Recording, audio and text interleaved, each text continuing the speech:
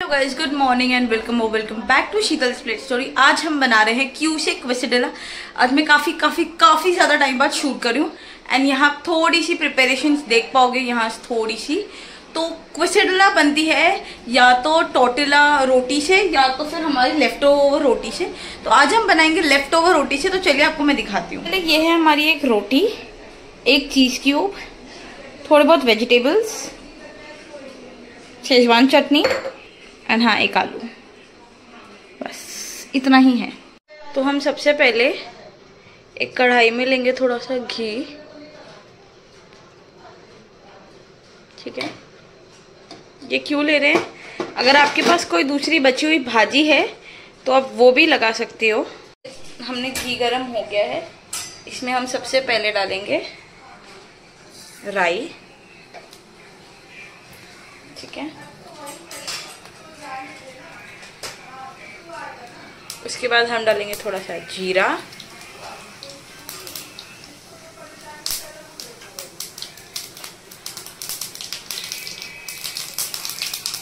हल्दी। लाल मिर्च। ठीक है? अब हम इसमें डाल देंगे हमारा आलू। तो अब इसमें हमने, ये देखिए हमारा आलू रेडी हो गया तो अब इसमें हम डाल देंगे नमक। नमक आफ्टर ऑल द इंग्रेडिएंट्स तो ये देखिए, ये हमारी मस्त सी आलू की भाजी रेडी हो गई है। अब हम क्या करेंगे, ये जो रोटी है, इसे हम ऐसे फोल्ड करेंगे।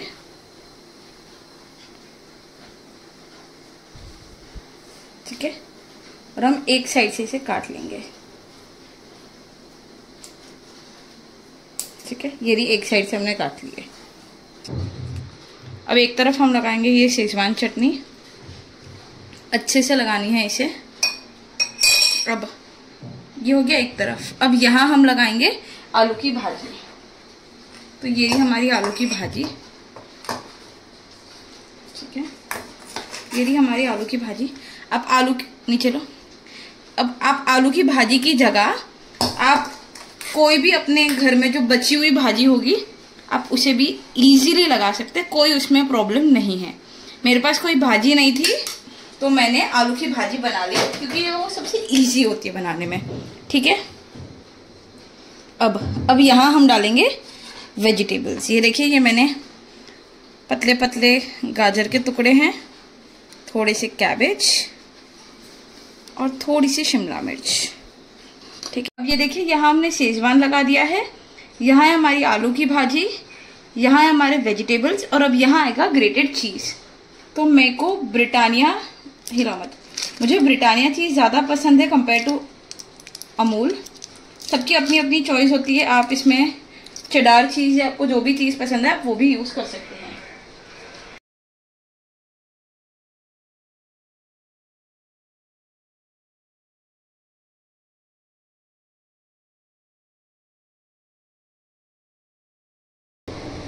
ये जनरस अमाउंट ऑफ़ चीज़ हम ग्रेट कर देंगे। जिससे एक अच्छा फ्लेवर आ जाएगा। और बच्चों को भी अच्छा लगता है चीज़ इससे क्या वो रोटी और भाजी सब खा भी लेंगे और ये हेल्दी भी रहेगा।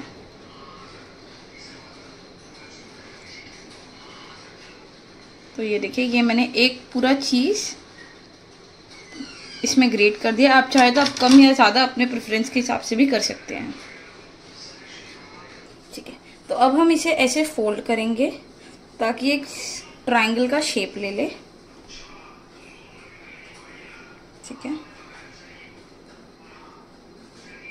ये रहा ऐसे। अब ये हो गया है ऐसे। अब इसे हम थोड़ा सा सेक देंगे। अब हमने तवा चालू कर दिया, उस पर हम थोड़ा सा बटर लगाएँगे। आपकी मर्ज़ी, आपको कितना बटर डालना है, कितना नहीं डालना है। गैस स्लो कर दी हमने।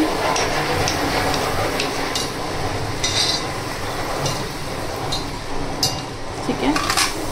और अब हम इसे रख के थोड़ा सा तवे पे गरम कर लेंगे। तवे पे इसे गरम कर लेंगे ताकि ये आराम से चीज़ भी मेल्ट हो जाएगी इसमें। और ये हल्का सा क्रिस्पी भी हो जाएगा। अब इसे हम टर्न करेंगे ताकि ये दूसरे साइड से भी अच्छे से हो जाए। ये देखिए। इतना बढ़िया एकदम सिक्का है, बच्चों को भी अच्छा लगेगा देख के। और ये टेस्ट में तो एकदम यमी होता ही है। तो अब मैं इसे आपको काट के दिखाती हूँ ताकि आपको भी समझेगा ये कैसा है। तो चलिए आइए इसे काट के देखते हैं।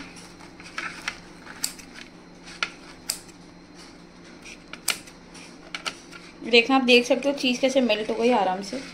एकदम मज़े से। और ये देखिए, ये हमारा फोर लेयर आलू वेजिटेबल्स चीज़ और चटनी। काफ़ी यमी लग रहा है ना?